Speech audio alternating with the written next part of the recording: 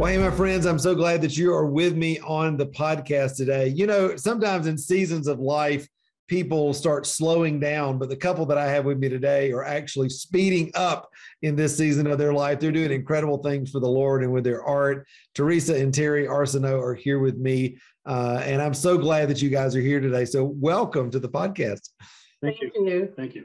Absolutely. So, I wanted to let you guys kind of tell a little bit of your of your backstory, but really focus in on on where you are today because it's a beautiful story, and I think going to be so inspiring for so many folks that are maybe coming back to their art or maybe envisioning what this season of life could could look like for them. So, whichever one of you is ready to talk, uh, maybe a, a little bit about your backstory and and uh, and how you came to be where you are today. Um, for me, um, I've always been interested in art. I remember drawing in grades when I was about six, drawing cars for the future. Yeah. And well, they never turned out that way, but anyways. and then I got into school and I love art right through class, right through uh, grade elementary school. Then I took four years of art in high school. I didn't go any further than that. I just loved it. Yeah. And uh, I did all kinds of mediums. That was it was great. And then uh, life took over after that, and I never touched my art again until I met this lovely lady in 1985. Where originally we were teenage, uh, we dated for a month. We were teenagers, teenagers, and we split up. And 12 years later, we got back together, and wow. two years after that. And you reeled him and, in, huh, Teresa? You reeled him in, or, or, or the other way around. you could say that, yeah. and so when I met Teresa, she was a Christian. I wasn't, and then. Um, we went to a pastor to get married. He said, "Well, you're not compatible." I said, "Terry, you need to you need to accept the Lord. So he said, Teresa, take him out in the parking lot. And that's what happened. and four months later, we got married. and after that, the Lord started putting on my heart to draw again. Wow. And so I did one drawing and then they didn't touch it. It was on and off for a lot of years. And then back about 2008, we had this artist come to our church here on Summerside, PEI. And uh, she encouraged us to get back into art. She was actually painting during a service. Wow. And we're drawn to that. And so she encouraged me to get back to art. So I did my first sketch and I'm looking at it going, oh my sakes. Is there any hope for me, right? Thinking. but anyways, uh, I, I, stayed with it and my, I love drawing hands. Yeah. I can draw anything but the face. I always struggled with that. Wow. And so I was on and off. And so I would draw during a church sermon because I have a problem staying focused. Uh-huh. And so when I draw, I can actually hear what's going on, and my mind is concentrating what I'm drawing. Wow. I did that for years in church, and so I get motivated a lot in church how to what the Lord had shown me to draw, and I did it. But the last two or three years, God's been really speaking to my heart to not focus on the other mediums, but just drawing. But yeah. Now, what and were you so, doing um, professionally um, all these years, Terry? Um, well, for up to about nine, 2003, I worked at a petrochemical plant in Ontario. We made plastic pellets. Yeah. And then we moved here, and uh, that was another that's another story. It was really hard to find work here. Yeah. So I did every job possible. Yeah. So right now I started my own computer training service, training and troubleshooting. So I do a lot of seniors. Yeah. I come into homes and I help them with any technology issue at all. So I'm a technical trainer. That's awesome. I love that. So, I love that. Now, Teresa, how about you? Are you always an artist, or when did that start blossoming in your life? I am mainly I I started doing art in my 50s, believe it or not. But I'm mainly a writer. Uh-huh. And my um, passion is for fantasy, inspirational fantasy. Yeah. I don't know if that's an actual genre, but if you go back to the original writers of fantasy, like George MacDonald, C.S. Lewis, yeah. J.R.R. Tolkien, Tolkien, yeah, it was all about um, expressing our amazing God through fiction. I mean, God is supernatural. He's exciting. He's amazing. And I don't know any other written medium that can express that as well as fantasy How fiction wonderful. does. I started, um, I knew I wanted to be a writer when I was nine years old. Um, but I think it was before then because I can remember being a toddler in my stroller and my mom parking me in front of a tree that had a knot hole and I'm imagining all this whole this owl that lives in there and wow. his name is Mr. Who and, and all this. and so I wrote some of my first stories when I was about nine, and they were later on, Scooby Doo came out and they had my story basically. That, I wrote. Yeah, so um, had a lot of struggles and derailments, and uh, I about 2010 we had had so many traumatic events happen in our lives and in mm. our family. I ended up in the mental ward for a couple weeks with wow. severe ang- severe anxiety disorder. Yeah. And I could not write an email, mm. like two sentences. Wow. I don't even know how for years.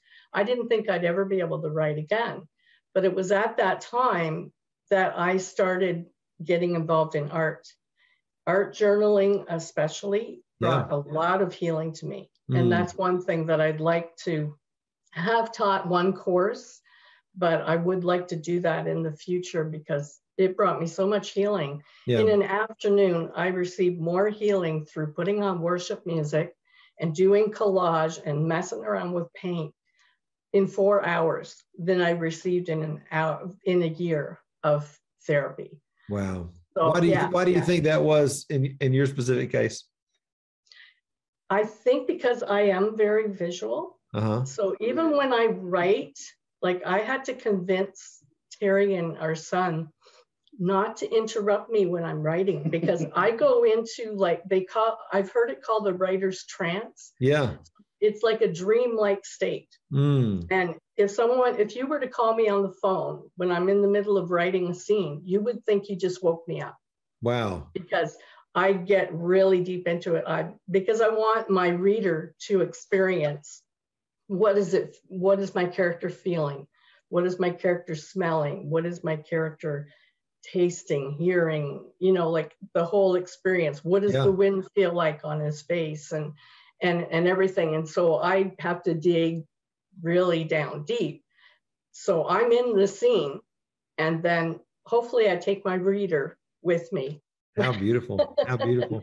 Yeah. You know i'm i'm so interested because i'm, I'm always interested in couples that are that are creative um, because I don't know, at least for me and, and my wife, you know, our cre- our creative expression is very different. Like Tanya, for example, is a fiber artist, so she loves embroidery, she loves you know sewing and all this kind of stuff. And I'm you know obviously do baskets and painting and writing and that sort of thing. Both kind of in our own worlds. I'm interested for you guys how your creativity tends to come in and out of each other? And has it always been the same way or has, has that grown together as as you guys have, have grown over the years in marriage? That is that is a totally amazing story. We're actually developing a, a work together that i have a little sample here. Yeah. This is one of the things. Oh i um, love it. I love it. this is a wood sculpture that terry made wow. and i painted it and coated it with encaustic Wow. And now so all of our podcast listeners, you have to go over to YouTube to see this, but it is that is so gorgeous. That is so gorgeous. yeah. Yeah. So it's um we're we're creating a body of work that incorporates his uh, skills at wood sculpture and my skills at encaustic painting. Wow. And so uh, he's got like this whole water lily, this huge water lily, and it's all sculpted together with little pieces of wood. And we're calling this body of work Beauty from Ash. Mm. And there's mm. three, there's three parts to that. The first part is simple, it's ash wood. Terry fell in love with the with the yeah. wood grain, with the grain of ash yeah. wood. And that's why when I do the painting, most of the, the things that are painted, I use uh, a watercolor pigment that shows the grain because we uh-huh. still want the grain of the wood. I love that. Shown. So that's one aspect of Beauty from Ash.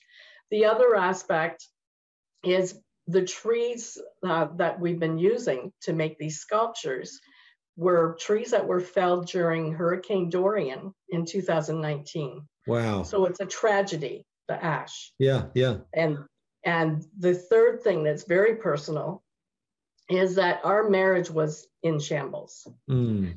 And in 1994, the Lord got a hold of our of us in our marriage and I want to point fingers. and the Lord transformed our marriage. Wow. He absolutely saved our marriage. And then we've grown as we've learned to grow closer to God. We've learned to love each other better. That's so and good. now, uh, for us to actually bring our skills together and create something of beauty, it's another big aspect of Beauty from Ash.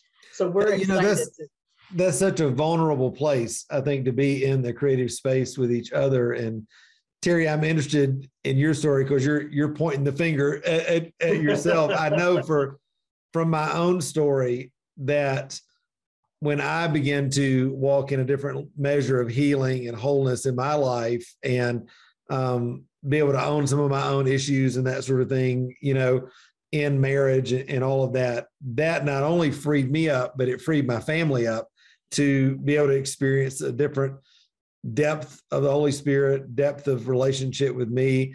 Talk about that for yourself because I know that that you know, and I have no idea what the backstory is there, but I just I know that when we as men deal with our own stuff, it it builds a platform and opens a door for for our family to step into that as well.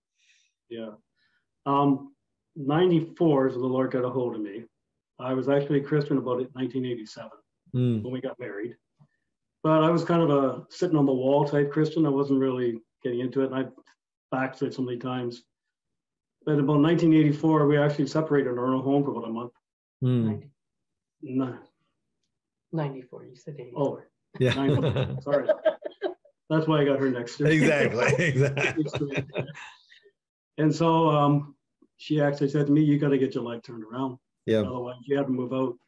And the situation I was going to move into wasn't going to be a very good situation. It was a former apartment of a pedophile, so that was not a nasty place. Yeah. Anyways, um, so we went to church the next day, and I wanted to get prayer, and so I'm standing in the in the aisle. I'm standing in actually, I wanted to get prayer before the service started. It didn't happen.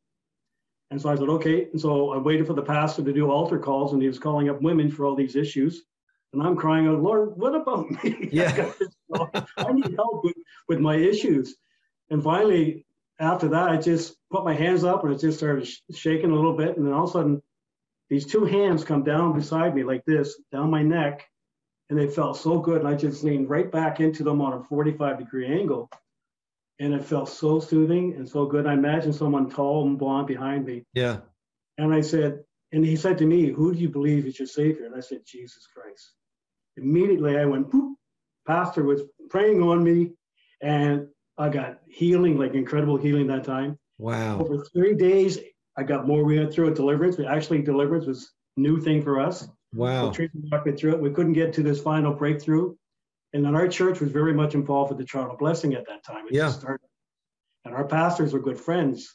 And so we told them what was going on. They said, well, come on, we're going to Toronto. It's a three hour drive. So we did. So we get in there, and after it's all over, I stand there to get prayer. And John Arnott comes up and he prays on me. Nothing happened. I thought, well, this sucks. so I was going to leave. And then I'm looking around and seeing all these bodies all over the place. Yeah. And it looked like a war zone Yeah. because people getting healed and ministered and all. I'm, I'm feeling ripped off. So I felt the Lord said, go back up one more time. So I went back up to the front. My pastor came, he prayed over me and went down for 45 Wow. minutes on the floor. Wow. And I said, Lord, why am I here? He goes,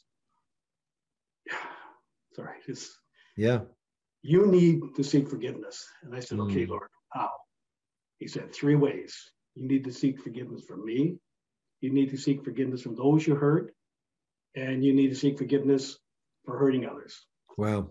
Okay, so I spent 45 minutes. I said, Lord, where do I start? He goes, from the beginning. Wow. For 45 minutes, that's what I did. And through this whole time, Teresa was praying over me on Wow. the floor among all these other people. And I finally woke up and the Lord said, No, you need to ask her to forgive Mm. you. And I did. And that broke the last stronghold. Wow. Wow. And it was free. And then after that, and my addictions was pornography, lying, anger. Um, uh, that, that was the main ones right there. Yeah. the Lord just broke off those desires. Like Come we on. just, we just begged, like we're at the church and just cut them right off. I had no more. We actually talked that night at the church for the first time, a long time ago. I was doing the talking. Usually it's her. First real conversation in about 10 years. Yeah. wow. We were Yeah. married about eight years, yeah, about 10 years that time. Yeah. So after that time, there was a lot of, I went through some prayer healing ministry, the seven steps of freedom from Neil Anderson. Yeah. And I got a lot of healing. It took a couple years. And then I slowly earned the trust back of my teenage sons and my wife. You just don't get it back like Yeah, that. sure. You earn that back. Mm, And I did. And I earned it back. And it, it brings us to where we are now. yeah. And we got involved in the church. And I became very involved with our church. I was on sound. I ran the sound system for a big church. We started at 80. It was up to 910 years. And the Lord just called me into that. They asked me to do it. And I, I had no idea how to do it. 'Cause here you go. So by the time I left, I had a team of 27 techs. And Incredible. God told us here, everyone to uh, PEI. Isn't it amazing though? I think, you know, how one encounter with Jesus can change Oh. everything. All the years of struggle, all the years of mm-hmm. addiction, all the years of whatever, one encounter with him can can reset like that. And then and at the same time, that encounter is a moment, but then there's there's all these other moments that come after that, right? It's the working out of of what he's just done in your heart, or the the realigning, if you will, of your heart with the, with this new truth and new reality. And I just love that because I, you know, and y'all know this about me because you've been in the mentoring program and all that. But I mean, that foundation of healing and wholeness and identity is foundational for everything. And I, I think you know, eh, I, I know you guys think about this as as you think back on your journey. There's no way, there's no way that you'd be walking in what you're walking in now had y'all not walked through the healing that it took to to walk through that situation. I mean, Teresa, talk about that from your perspective because I mean, I'm sure it, it, it, at one side, I'm thinking of Tanya and our whole story and all that sort of thing. At one side, you're like, I'm so excited finally. And the other side, you want to slap him in the head and like, what took you so long? And you know, I've been waiting on this for so long, you know. So I'll just make one comment. I learned what the look is from her over those first few years. You that's get right. that look, you go, okay. Exactly. Back it up. Back it up. yeah um yeah like I, I i was very lonely in our marriage for a very very very long time and um so anyways what brought the thing i didn't know what he was doing Yeah. you know i didn't know i was completely clueless god gave me a dream Mm. and this was before um it became popular in christian circles that Yeah. god actually speaks through dreams Yeah. Yeah. Yeah. but he gave me this dream and i went to my friend and we both fasted and prayed for the interpretation of this dream i still didn't know entirely what it meant but i sat down with terry and i said this one part of the dream it's you Yeah. and his jaw just dropped to the Yeah. table Yeah. and he went upstairs to our bedroom and he got on his face weeping Wow. before God. The conviction of the Holy Spirit just came on. And that's what started it, you Come know. And um, I mean, he's talking about the like an angel standing behind him and he was leaning back. I'm looking at him, I'm beside him, and I'm thinking, how are you not falling over? Because he, he was like literally back like this, like Whoa. Falling over. And so, you know, I'm witness that somebody was holding him up there. Yeah. So, yeah. And like he said, it took time to build that trust, Yeah. you know, because it it, it had eroded. And I had a lot of um, trauma from that. And just because when you have the addiction, the lies Yeah. go, the, that whole lying thing goes with it because you've got to cover up everything. Yeah. Sure. Sure. and the lack of communication. Well, if I talk about anything too deep or too personal, I might slip up, right? Yeah. So there was no real conversation. Like I Mm. would start to talk to him and he would immediately start to nod off. I would stop mid sentence and he'd go like, oh, okay, now I can go back and do what I was doing. Yeah. And he wouldn't even notice I stopped mid sentence. So like Yeah. it, it was, it was not a good, it was not a good Yeah. marriage. And so now, like, I respect Terry more than any other man I know. Like, he is a man, a man of God. He's so full of integrity, honesty. Yeah. Oh my goodness. you know, to his own detriment at times. But yeah. um, yeah, this is this is not the same man. Yeah, praise you know? God. He's just completely transformed and like you know, now I feel like, well, I got to catch up to you. Like, well, I think it just goes to show that when all of us, you know, husband, wife, whatever, when when we embrace healing in our own life, it opens the door for for mm. an environment of healing and wholeness in our in our own journey and in the journey of others as well. And you know, I never, I'm from the South. I never ask ages and that sort of thing. We don't talk about that kind of thing on, on, on the podcast, but no problem. but, problem. but you guys, I was just going to say, you guys are at a stage in life where so many people are thinking about, yeah, we've worked, we've kind of, we've done it. We're kind of trying to slow down and, and, you know, live these easy years and that sort of thing. But I'm, I'm, I'm bringing this in now because I'm wanting to show people the work that you've done, the history that's there, the the relationship that you've sown into.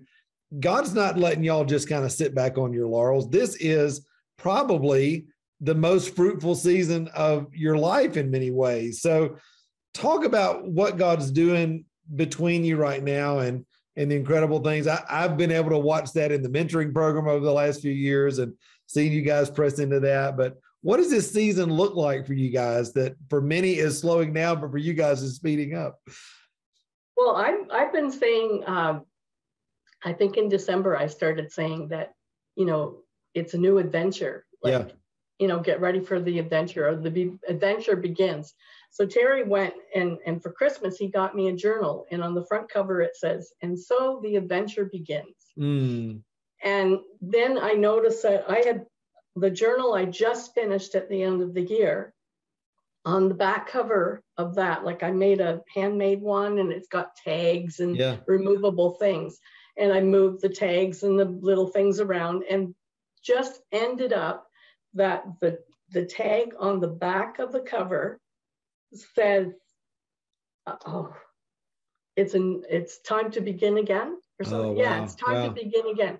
Yeah, yes. And then the the adventure begins. And so it's like,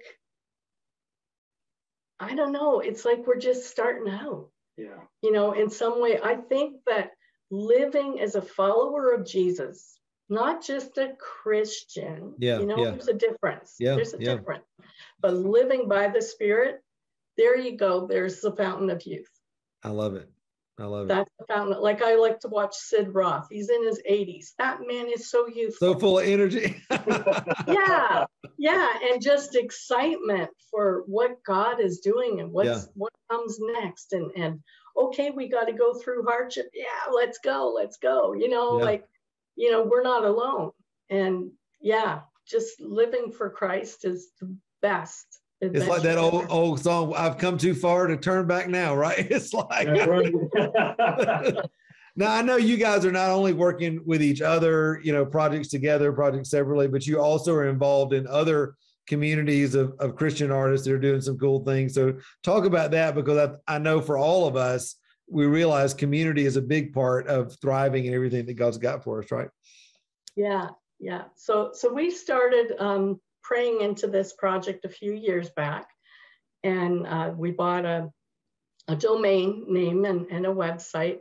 And finally, in the last couple months, with our techie son's help, we've been able to launch it. It's called Christian Art Creations. And basically, it's a catalog of Christian creatives and their works and a place where they can connect with potential clients. Wonderful. So, you know, like what you're doing in the mentoring group is fantastic. And, you know, that's why we're part of it since October 2019. so you taught us so much. Oh. that would be another show to say That's right. yeah. Yeah. But um, but Christian Heart, no, it wasn't. But Christian Art Creations is is something where um, people can actually maybe have a voice. Yeah. So our original dream was to have it be like an Etsy for Christians yeah. kind of thing. But for us to be able to do a whole e e-commerce thing, and, and we wouldn't be able to do anything else. Yeah. You know, everything else would have to go. You know, so maybe you know in the future when we have people we can hire, we can do that. Yeah, but as it grows. It's just yeah, but for now it's it's just us. And uh, so what people can do is is they they come on, and the first month is always free uh, to subscribe, and they can cancel, you know, at any time. And so they'll they make a profile. So in the profile, there's a picture, and we we tell them it's best to put a picture of themselves so people have someone to connect to. Sure. They have their contact information and a little bit about themselves. Then they can put in an unlimited amount of products into our catalogs, the online catalogs. And when people click on their a picture of the product, it blows it up, and then it has a little thing that says go to link. And when they push the link, it takes them to the artist profile. Love it. And if they want to go from there, the artist puts an Etsy shop or whatever, and they want yeah. to see more of their work, then they connect directly with with the artist. How great. Yeah. I love it because you're, you know, you're prospering, you're thriving, and now you're creating a platform for others to to do that as well that that need that. So that's so mm-hmm. awesome, guys. I love it. You guys are like going and blowing, man. It's it's so awesome. You know, I really felt like as y'all were sharing your story, you know, during the podcast, I I just really sense that there are maybe um, couples out there that are listening. There maybe some guys out there that are listening, Terry, that are struggling with the same thing that you and I struggled with over the years. Uh, Teresa, maybe there are some some wives out there um, that are really struggling the same way you were with it, with loneliness, with with knowing that something's going on in their marriage, but they're not quite sure what that is. Would you guys, both of you separately, just speak a word of hope to those people out there that are struggling right now? Then I want to pray because I believe that God's, you know, the same thing He's done in me, same thing He's done in you guys. He wants to do in others, and uh, just release the same kind of freedom in them that he's done in us. So, Teresa, maybe you and then Terry, just what would you say to folks maybe that are out there and struggling with those same issues today?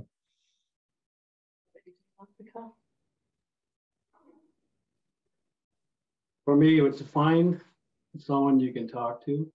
Yeah. Another strong Christian. I did that once and then I backslid and I found it again. Talk to someone you can trust can help you walk through it. I'm A mature Christian. Yeah and then and be honest with your wife, your spouse, yeah. let them know you're struggling. Yeah. And try to work on it together. Because we found in the early part of that, we were at each other, like we were each other's enemies. And through the process, after God turned things around, we realized, I think it was Teresa came up one night, she said, We're fighting the same enemy. Mm. So we need to cover each other's back. So we have Come to stand back and protect ourselves. Yeah. So this is what we started doing. We started praying together as a couple. I went through church and got ministry, got healing that way. You really have to want to do it. Yeah. Yeah. Yeah. I remember somebody told me one time, secrecy kills, honesty heals. And that, that is just, it's so true, you know, because the enemy works in secret. He works in the lies and keeping things in the, in the back, but you bring it to the light, you know, and just, because it's all, in it always with any kind of issue, it's always the fear of what is going to happen if they find out or if this happens or whatever. And it's like if you just bring the doggone thing in the light and be like, I'm struggling with this. I need, I need help. I need somebody to walk me through this. I need healing. Um, that's where Jesus can come in and, and heal. So, Teresa, what about you? What would you say just as a word of encouragement to folks? Well, initially, how this healing started was he was not there at all. Yeah. And um, like he said, I had just, like, we were separated, separate rooms, uh, but he was still in the house.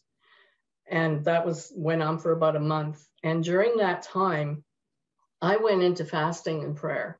And the very first thing I did is I presented my marriage to God. And yeah. I didn't know if it was coming back.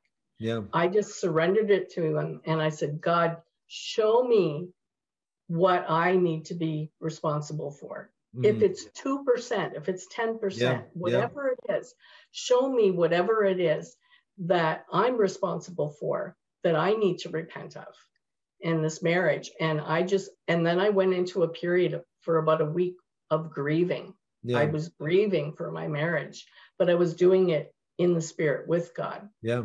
It wasn't just, you know, oh, woe, it's me feeling right, sorry right, for right. myself it was like a real grieving and through that I, I really believe that's where the breakthrough started. Yeah. yeah. And so I would encourage any wife who's feeling like, you know, like I, you, you know, God change him, God change him. Yeah. Those prayers don't work.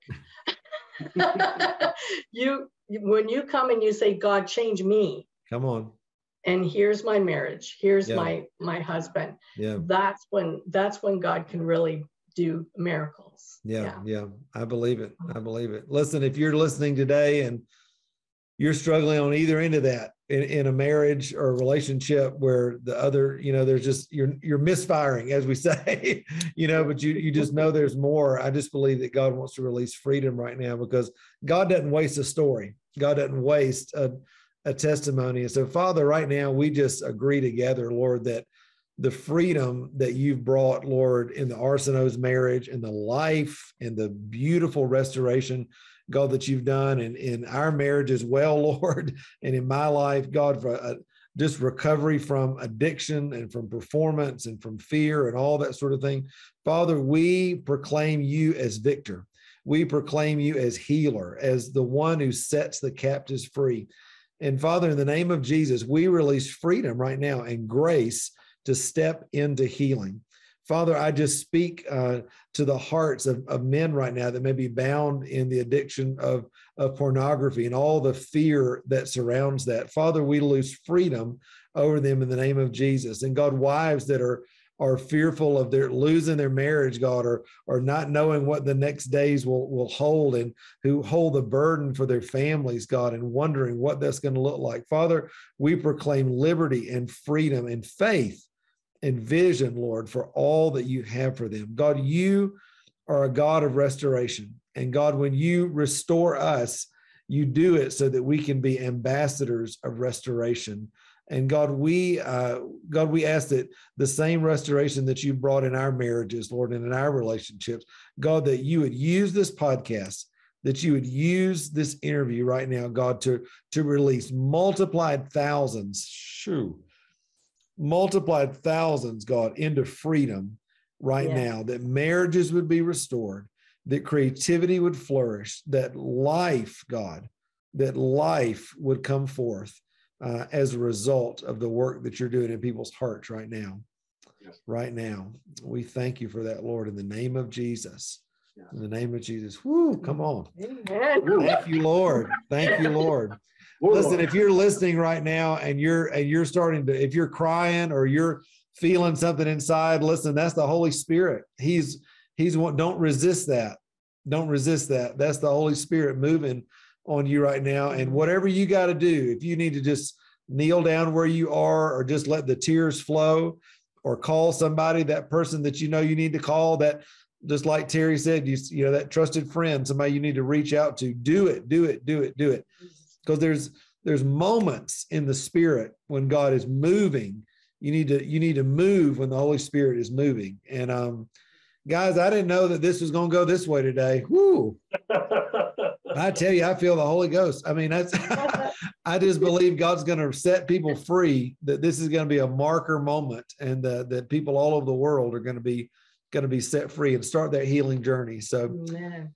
guys thank you for the vulnerability and uh, just the beautiful way you shared your story um, today i know folks are going to want to connect with you further and so where's the best place that they can connect with you and find out all the great things that, that you're doing Well, we are on Facebook with um, TNT Artspirations and also Christian Art Creations. And we're on Instagram as well with both of those. So I guess that, and then my books are on Amazon. awesome awesome Yeah.